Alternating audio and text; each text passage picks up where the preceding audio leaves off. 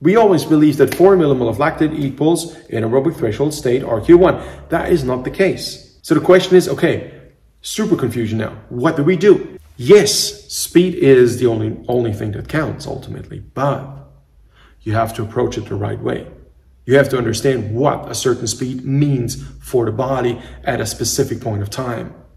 Because ultimately, that body needs to be able to get the internal capacity to produce energy it's in, in such an efficient way that the given speed is attainable without getting into overtraining.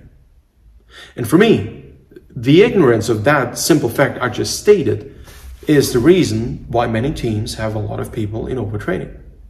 And then the so-called talents are the ones, talents, who simply survive that rigid training regime. The fittest survive? No. No. How come huge nations don't have all the medals? It's how you train your athletes.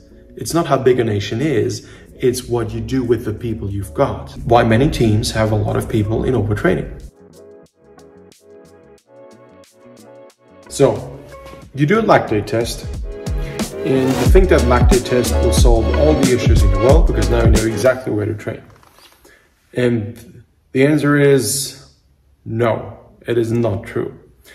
So with this video, I want to talk a bit about training planning because this is actually my core competence. This is what I do. A lactate test is such a substantial part of everything that I would like to talk about nitty gritty details you probably should know if you're serious about training and lactate testing and all that stuff. So let's start the video off. Why do we even need a lactate test?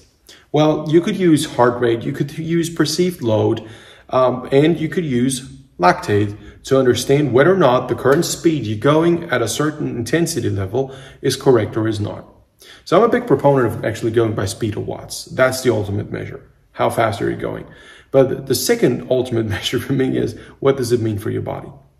And I, I've talked to a bunch of scientists, and whenever I ask them, say, what is the most reliable way? If you could measure everything in the world, you had all the equipment there is, and every single training you can do this, money, no object, what do you want to do?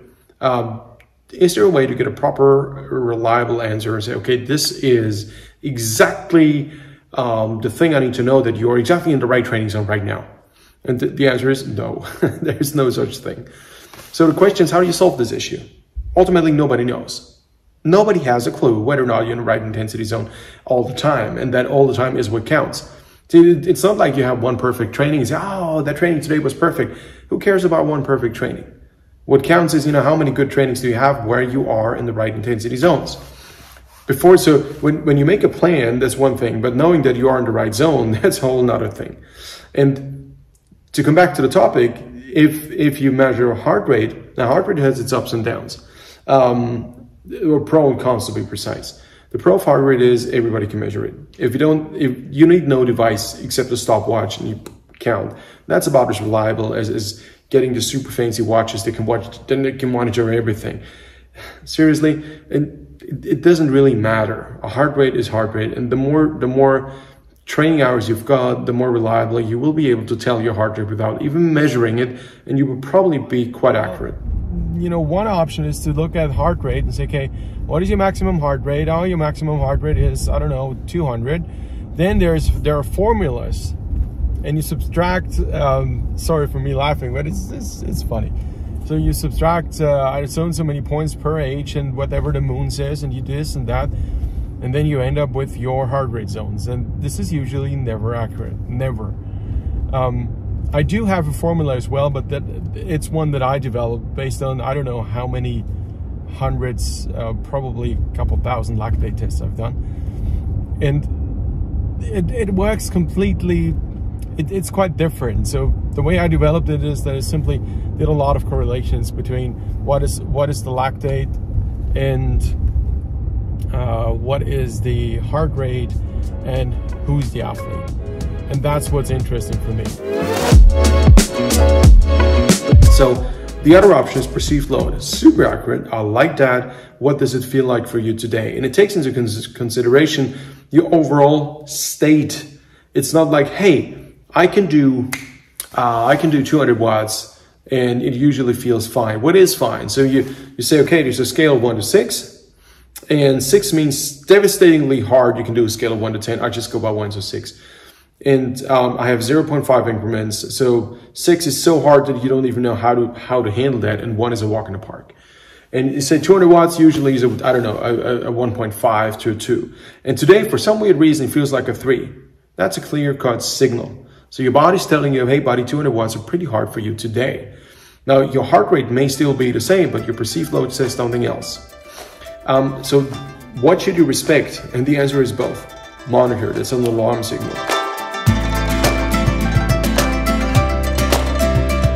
The third parameter I like to use a lot, if possible, is lactate. You can go without lactate measuring, certainly, and be successful. But if you can measure, I think you should. And lactate simply is, well, lactate is the thing. I, I keep it super simple. Lactate is a byproduct of muscle contraction. And it's super, super simple. But it's also used to recycle byproducts of the muscle contraction and turn them back into energy the muscle can use. So lactate is something that is being generated but also reused. And therefore, there's no such thing as a lactate steady state. It's a hypothetical thing, but not a real thing. Lactate either becomes less or becomes more. It never stays the same unless for a couple seconds or a minute or so, but no more than that. So when, when people do a lactate test, they usually do a step test. So they would say, okay, uh, we hit, we start with 100 watts. Let's say 100 watts is my usual super easy pace. Good, you do 100 watts. And then usually people do four minutes and then take a break of one minute. And it's not like you need a rest you usually need some time to take lactate. But if you're experienced, it takes maybe 20 seconds. So I, per, I personally prefer to do more than four minutes. I prefer to do six minutes. That's the least I recommend to do. Because if you, if you want to have something in the proximity of lactate steady state, you're much closer at six minutes than at four minutes. So I take the six minutes because it also takes into consideration however many watts you pull, you better be able to pull them for six minutes, not four. That's, that's a different animal. You know, trying to pull, I don't know, 400 watts for four minutes or 400 watts for six minutes, that's a different thing. You know, it's 50% longer. So it, it is interesting. In an ideal world, I would, I wouldn't even do step test. I would just test as we do the training. This is what I usually do quite on a frequent basis. And then you do 10 minute intervals or stuff like this, which is pretty reliable.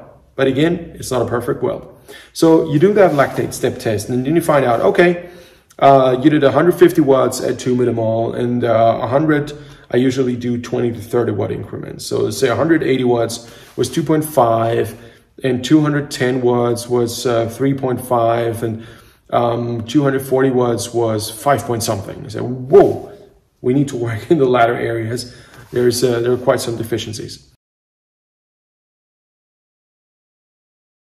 Now, if you have somebody who's had a lot of milk before you do the test, forget the results. It doesn't mean anything because what we measure is lactose, like lactate. And if you bring a lot of lactose into your system, uh, good luck getting reliable results. It just doesn't work. So um, next thing, if somebody uh, had a very high intense training the day before, forget it. If somebody ro rode um, her his bike to the lactate test, trying to go real hard because it was fun, forget the test. It's not going to work. Um, if somebody has deprived themselves of carbohydrates um, the day before and has had a lot of water, the results are going to be excellent, but, uh, but, but utopias. So you're going to have low lactate with high watts. It's not about whether or not being good, it's about finding the right intensity zone. So you better be doing what you always are doing. So eat about one to two hours before practice. Don't ride your bike too hard. Ideally, don't ride your bike at all. Um, and do a neutral training the day before. I like to work around 0.5 to 2 millimole of lactate. That is a reliable measure where you say, okay, you always do the same thing and da da da. So you now you know um, the result is actually something that is a good representation of what that athlete actually does at certain watt levels. The good thing about lactate is that it's, unless you know what you do, it's very difficult to cheat. Uh, heart rate, you're nervous, boom, boom, boom, your heart goes up um, perceived load is actually quite accurate, but if there are outside stress influences, this will change your perceived load as well. So yes, it does have a physical impact, absolutely true and, and legit, but at the same time, lactate has got this bit of a neutral touch to it.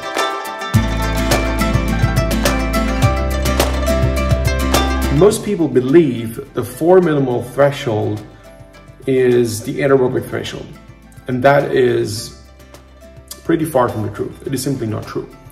What we, are, what, what we actually want to know is what your RQ is. And the RQ is called the respiratory coefficient. And that is essentially a comparison of the gases you take in versus the gases you take you you you um, exhale. So inhaled gases versus exhaled gases. And if that reaches a proximity of about one, you know um, your body is just on the brink of changing from aerobic work to anaerobic work, the way energy is being produced for muscle contraction. So in other words, this is about where you will tap into the zone of anaerobic threshold or anaerobic work. Anaerobic without oxygen, so something's going to change um, relating to the gases you inhale versus the ones you exhale. So that is done with, um, with, with a mask, with an oxygen mask. This is how you measure that stuff. But the thing is, you cannot always have this. And there are companies working on this, but at the same time, we don't want to work on right where the anaerobic threshold is all the time. And now comes something quite interesting. That ominous 4 millimole um, anaerobic threshold level, that's not a true correlation. The anaerobic threshold is not just different from person to person. So one person could have the RQ1 at 3.5 or 3, and the other person could have it at 7. And there are even some more extreme cases. We always believe that 4 millimole of lactate equals anaerobic threshold state RQ1. That is not the case. And it even varies from person to person from day to day. So one person could have the RQ1 at, at, at I don't know, 3.5 and the next at 4.2. It is not the same. So the question is, okay, super confusion now. What do we do? And the thing is, get the least, uh, get the lesser of all evils and this is why um, I did a video about my training zones, and I said this is this is a reason why I personally came up with 11 different training zone systems. That is when I decided, okay, I cannot I cannot really use sports science literature because all of that stuff has been in all these all of these studies have been conducted with sports students, not pro athletes. So forget about it. This in, in a pro rower is a whole different animal than a sports student. No matter how fit this person is, forget it. It doesn't compare. So you nothing of what nothing about the stuff you usually read say this is how you do hypertrophy and this is how you do this. It just doesn't work. It does not work the way it works with normal people. And rowers aren't normal. They, they, simply are not. The thing is, we cannot know possibly whether or not somebody's actually in the right training zone or not. We can assume we can check with heart rate, we can check with perceived load, we can check with lactate. But do we know? No. The trick is, in, in, it's not like I'm giving away a secret, but for me, this is really the trick to always target two, one, two, three intensity zones within a training to give, to give the body quite um, distinctive discrepancies in the intensities we target so that the body starts to economize to many different things that are all in a closer proximity. And what I want to achieve with this ultimately is that the body is able to work in aerobic energy production mode and pull very high watts. This is the ultimate goal. This is why I do all of that. And since I have 11 different training zones, I can always play the piano up and down and up and down and I'm probably in the lower areas. Uh, if, if we're about 12 months away from peak of season, that will gradually increase, but keep everything in the pack. And that allows me that I, I'm with my athletes to a larger extent in the right training zones than others who always stick with one intensity. And that's what, there are no secrets in training planning, but if there's one thing that could be considered to be a secret, that is one of the secrets. Simply be more in the right training zones than others. That's all that is required. And if I see, you know, how, how some people target their intensity zones with, ah, you know, so and so many percent of the world best time is going to be a low steady state and nonsense like this, I call it nonsense intentionally. My apologies. This is simply weird stuff. Um, let me explain what this is so that you know what I'm talking about. So there are actually charts um, people say, okay, the well best time in your world class is this and this. And in low steady state, a stroke zone, so my calculation, whatever it is, is based on, says that you, athlete XYZ, should be at 87.125% of that. And if you're not, you better work hard because all that counts is speed. And I'm making fun of this because it is a joke. It doesn't work this way.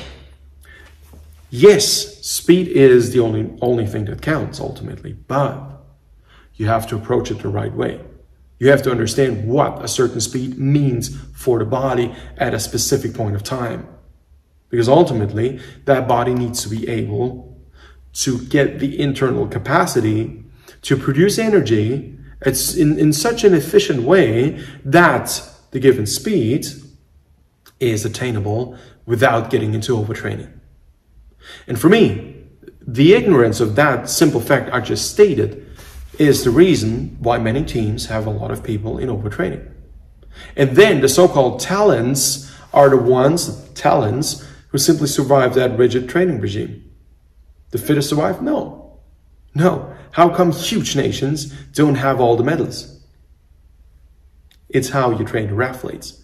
It's not how big a nation is, it's what you do with the people you've got.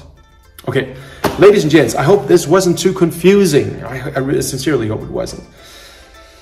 And uh, let me know what you think. I'm looking forward to your comments. I would love to read them. I always read them. I'm slow responding, but I love to read them, and I always I always take into consideration for the next videos, okay, what they read here and there, what, what are people asking, and I would love to get your opinion. And if there's anything I should clarify more or do the same video all over and explain it in a different way, just let me know. With this being said, thank you very much for watching. Thank you very much for subscribing. I'm going to say goodbye. I'm going to buy a Bio Workshop. I will do some workout myself now Go to aramtraining.com if you want to work with me and be part of the team and get your own personal training plan. And I'll see you in the next video. Subscribe. See you soon. Take care. Bye bye.